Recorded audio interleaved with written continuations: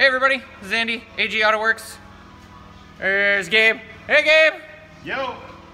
Okay, so we got uh, crank trigger set up right here. Um, this is a uh, Gen 4 CB fuel injection uh, dual throttle body setup. Um, just want to show you uh, some of the serpentine belt kind of kit setup stuff. Um, this one, you can see right here.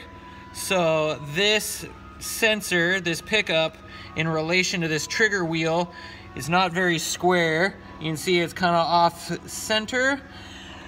There's witness marks on the outside of this trigger wheel right here, like the sensor's been scraping on here.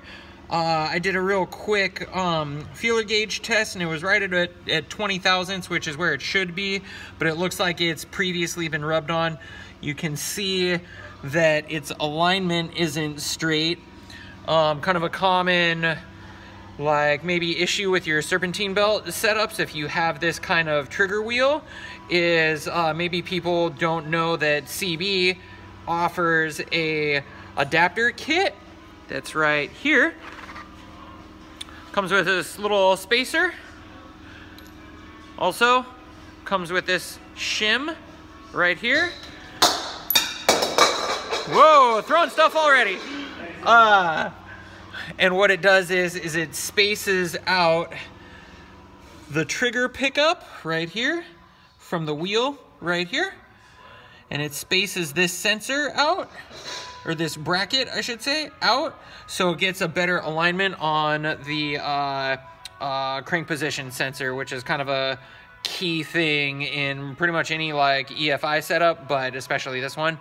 Um, so what we're gonna do is we're gonna install that spacer kit because if you look very carefully right in here, it might be kind of hard to see, but right in there, what they've done is they've just used some washers, like some standard washers, to space the crank position sensor out.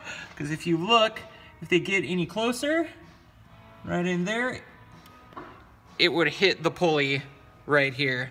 So we're gonna install the spacer kit with the uh, longer bolt. They also give you a longer bolt for the spacer to kind of make everything line up and match better. So yeah, we're gonna burn the midnight oil. We're going to uh, get that along with a host of other issues on this car uh, kind of uh, situated better uh, uh, better condition, I would say. And then hopefully it'll be off to the dyno tomorrow um, and we can uh, make some tuning pulls on this thing and hopefully get it to run a little bit better. So yeah, I'll uh, probably post with some uh, progress and uh, we'll catch you later guys.